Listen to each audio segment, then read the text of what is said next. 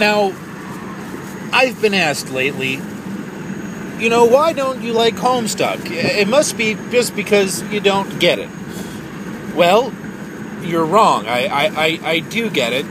Anyone that has a basic preschool education and a predisposition for violence or an understanding of the concept thereof can get it.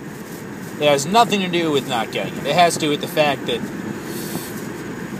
it tries to cover up, frankly, quite shitty plot lines with badly designed characters, with the kind of quaintness of a Microsoft Paint drawing appeal. Where you can say, oh, look at this, it's Microsoft Paint, haha, look what I did with this. It doesn't have to look good. It, you know, can't everything else uh, eclipse the, you know, how it looked? No, no, it can't because uh, uh, you missed the quaint factor and kind of just drove it to mediocrity. So your fans are borderline retarded.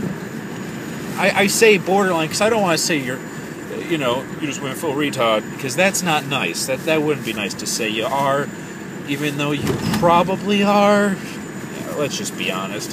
So, uh, yeah, that's why I don't like Homestuck. It, it's not that I don't get it. I, I do. I, I get it.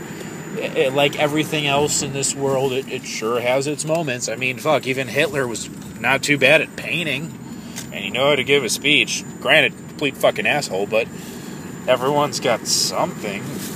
But uh, yeah, it really didn't hold anything fun for me. So yeah, that's why I don't like Homestuck. So uh, yeah, go fuck yourself. Have a good one. Bye.